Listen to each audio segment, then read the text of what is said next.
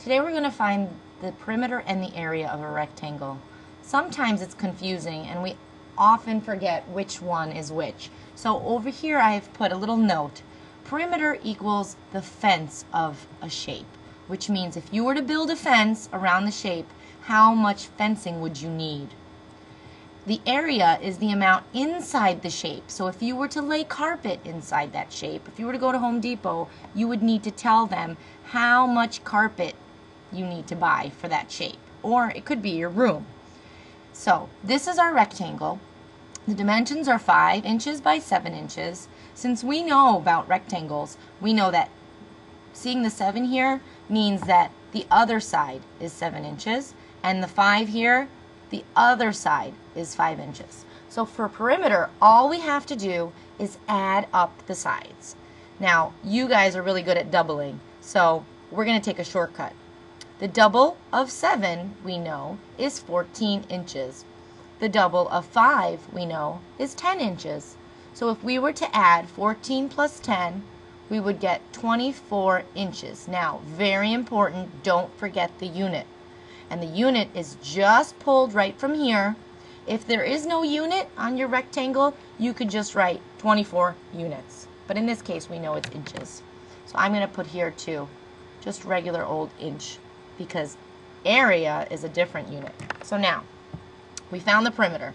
Let's go ahead and put P equals 24 inches. Now, we're also asked to find the area of this rectangle. And there's two ways to find the area.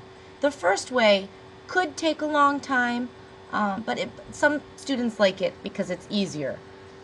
You just take your pencil or whatever you're using and you make dots in each square as you count. Now, if your shape doesn't have squares, you can't do this.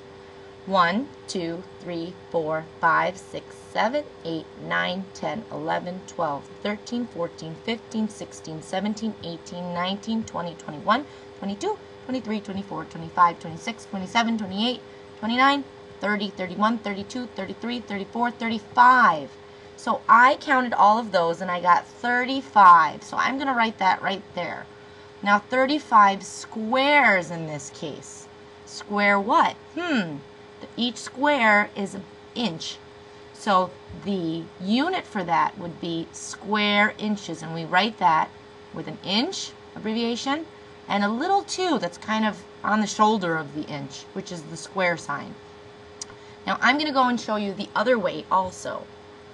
The other way to find area is to look at the rows of a shape, and you can only do this if it's a rectangle or a square.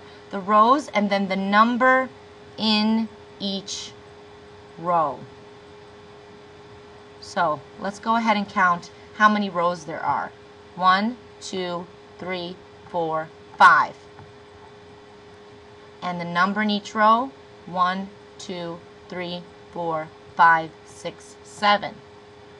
And all we do is multiply 5 times 7, and that will tell you the entire number of squares in there. Now, some of you are really good at multiplication, and you know right away that 5 times 7 is 35.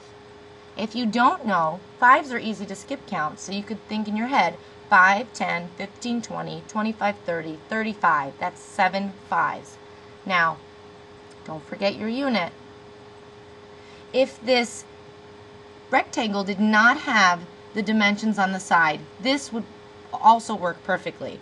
Since we know the dimensions, and it is a rectangle, we could have just looked at this without counting and said 7 times 5 is 35.